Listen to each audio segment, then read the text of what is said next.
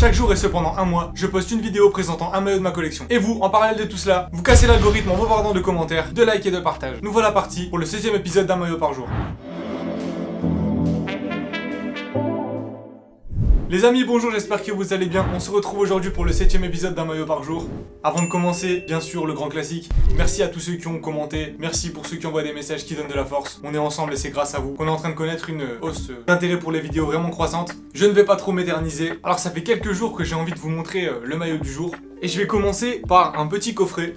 Donc, euh, cette pochette. Je ne sais pas si vous verrez le logo, mais euh, il y a un petit logo d'une sélection bien connue. Je vais donc l'ouvrir. C'est un coffret servant à présenter le maillot pour la Coupe du Monde 2014 de la sélection italienne. Donc là, je pense que vous avez un indice sur le maillot. Maintenant, ce coffret, il a pas mal d'informations vraiment intéressantes que je vais vous présenter. Et d'ailleurs, je me suis rendu compte qu'il y avait un certain problème avec ce coffret, justement. Je suis obligé de me justifier avant de vous montrer la vidéo. Déjà, ce coffret, il me sert à entreposer des étiquettes, en fait. Je garde tout et n'importe quoi. Alors là, par exemple, on a une étiquette de la Suède. Alors, je sais pas d'où ça provient. Certainement d'une veste. Et donc, comme j'avais aucune utilité particulière de ce coffret, je l'ai entreposé dans le décor. C'est pour ça qu'ici, vous avez euh, un trou maintenant. Et donc, dans les plans de coupe, vous allez certainement voir des vidéos, euh, des extraits de ce coffret. Et je sais pas ce qu'ils ont fait euh, au moment de l'impression en genre de, gomme. Mais euh, je pense que là, vous allez comprendre que c'est totalement illisible. Il y a seulement dans certains angles que tu peux essayer de déchiffrer ce qui est écrit. C'est dommage parce que les informations sont vraiment intéressantes. Informations qui concernent le maillot que contenait ce coffret. Donc maintenant que je me suis justifié sur les inscriptions lisibles, je vais vous montrer le maillot. Et c'est ce maillot, forcément de la sélection italienne, qui malgré tout euh, est apparu de nombreuses fois sur cette chaîne, malgré que je n'en ai jamais fait une vidéo attitrée. Alors qu'est-ce que ce maillot a de si particulier? Déjà, euh, c'est un maillot player issue, donc destiné à être porté par les joueurs. Donc euh, si euh, vous trouvez qu'il a l'air petit, non, je ne l'ai pas volé à mon petit frère, c'est juste que c'est un maillot euh, hyper cintré. C'est un maillot taille M, utilisant la technologie PowerCell de Puma. Alors comme vous pouvez l'attendre, il y a énormément d'aération. Le maillot est vraiment hyper élastique, donc était destiné à être porté très près du corps. Les logos de Puma sont thermocollés, de même pour le blason. On va passer au flocage, je pense que vous l'avez deviné, c'est pas vraiment une surprise. Flocage Verratti, bon même si euh, on est d'accord que cette compétition n'aura pas été glorieuse du côté de la Nazionale. Il y a pas mal de détails dans ce maillot avec euh, une petite inscription euh, à l'intérieur de celui-ci. Et donc j'aurais bien aimé vous lire directement les informations concernant ce maillot écrites sur le coffret.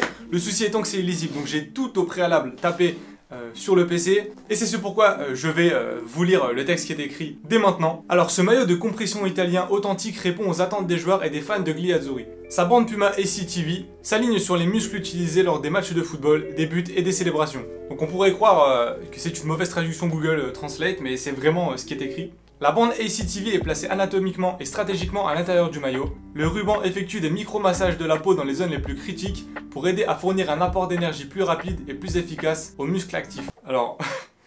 Alors là, je pense qu'on enjolive un petit peu les choses, hein, même si c'est très beau euh, et si c'est très bien raconté. Sur le devant, la bande est située au niveau de la cage thoracique et est conçue pour détendre le ventre pour une respiration plus profonde. Elle est également située au niveau des abdominaux obliques latéraux et est destinée à stimuler le muscle en rotation du corps pour une plus grande stabilité. Sur le dos, la bande est située sur l'omoplate et est destinée à stimuler les muscles du haut du dos, à aider à la coordination de la posture et des mouvements des bras et à augmenter la stabilité. Le ruban est également situé au niveau des lombaires et est destiné à stimuler le muscle aidant à l'étirement de la colonne lombaire dans le but d'offrir une plus grande stabilité et d'améliorer la posture. Veuillez le porter et utiliser avec fierté. Ah franchement un super texte et c'est dommage parce qu'il y a un beau petit schéma avec euh, des explications en images que je pourrais vous montrer parce que je pense que vous verrez pas grand chose. Après j'espère me tromper et j'espère trouver un angle où vous allez pouvoir euh, constater par vous-même. Maintenant on va passer euh, à ce que je peux vous montrer du maillot.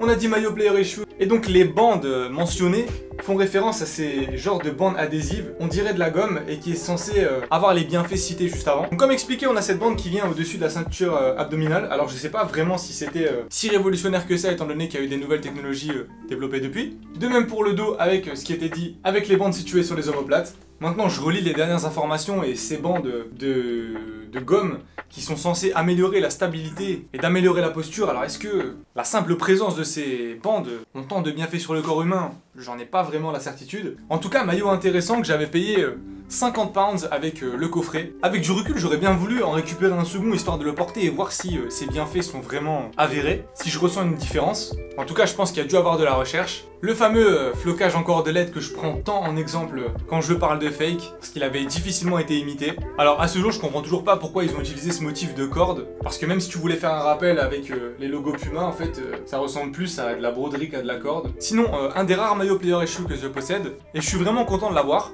encore plus avec le coffret, parce que malgré tout, je trouve c'est un objet sympa, même si il est pas très utile, on va pas se le cacher. Conclusion sur ce coffret, je le trouve vraiment joli, mais très peu utile, parce qu'au final, il est illisible. Même le logo de la sélection italienne reste illisible dans 99% des positions dans lesquelles vous le regardez. Donc je pense que pour le clin d'œil, c'est cool. D'ailleurs, je sais même pas comment t'es censé faire pour faire rentrer le maillot.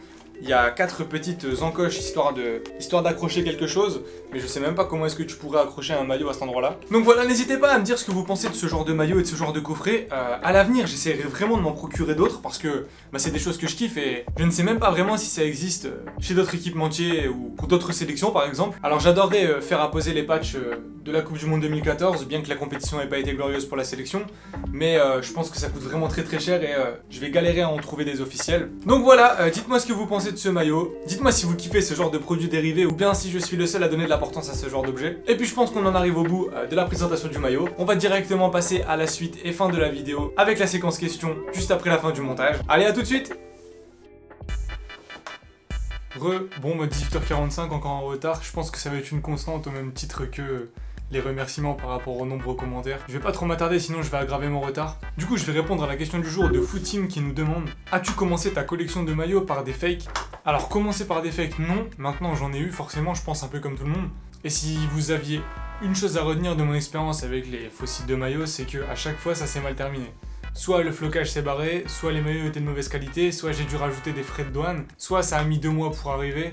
En fait, à chaque fois, il y a eu des soucis euh, divers et variés, on dira. Et ce que je mets maintenant en avant euh, quand je parle de fake, c'est qu'il ne faut pas oublier que ça reste des contrefaçons et que c'est interdit par la loi. Donc euh, je recommande pas du tout euh, d'acheter de contrefaçons et je trouve qu'il n'y a aucun mérite entre guillemets d'avoir une collection de full fake avec des maillots toujours hyper rares parce que tu les payes 15 euros et ils sont disponibles tout le temps. Donc si vraiment tu as envie de jouer au foot et de porter un maillot vraiment très régulièrement sans vouloir endommager un maillot qui coûte 90 euros euh, ça peut être une alternative, mais je vous encourage vraiment pas à acheter euh, des contrefaçons, encore une fois c'est illégal. Je vous conseille plutôt d'attendre les fins de saison ou les occasions bien propres du genre le Black Friday, euh, les soldes de fin d'année, enfin bref, tout ce que j'avais déjà décrit lors de la vidéo s'intitulant Comment j'achète mes maillots de foot. Et puis voilà, du coup je vais me dépêcher, rendez-vous demain, merci encore pour le soutien, en espérant que ça continue.